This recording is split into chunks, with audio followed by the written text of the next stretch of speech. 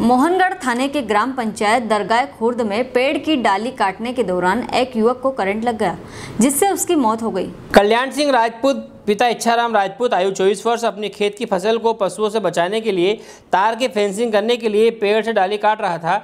उसी पेड़ के किनारे 11000 केवी विद्युत लाइन निकल रही है। डाली आदि काटने के बाद विद्युत लाइन पर गिर गई जिसमें डाली सहित सारे पेड़ में विद्युत का करंट आ गया जिससे युवक को करंट लग गया और उसकी पेड़ पर ही मौत हो गई। जब फेंसिंग कर रहे युवक के भाई ने नज़ारा देखा तो चिल्लाते हुए दौड़ा और आवाज़ सुनकर आसपास के लोग एकत्रित हो गए। मोहनगढ़ पुलिस मौके पर पहुँची और घटनास्थल पंचनामा तैयार कर मृतक के शव को पीएम के लिए जिला चिकित्सालय भेज दिया है। मोहनगढ़ से कैमरामैन अनुराग सेन के साथ अवधेश शुक्ला की रिपोर्ट। जिसको करंट लगा जी आपका कौन था? भाई। कैसे करंट लग गया? डंगार काट रहा। हाँ पेड़ की। पेड़ की। हाँ तो क्या होगा भाई डंगार फाल्ट भाई हो गया। तैतीस हज़ार वोल्टेज का। कब की घटना है? अब नौ बजे की। सुबह की? हाँ।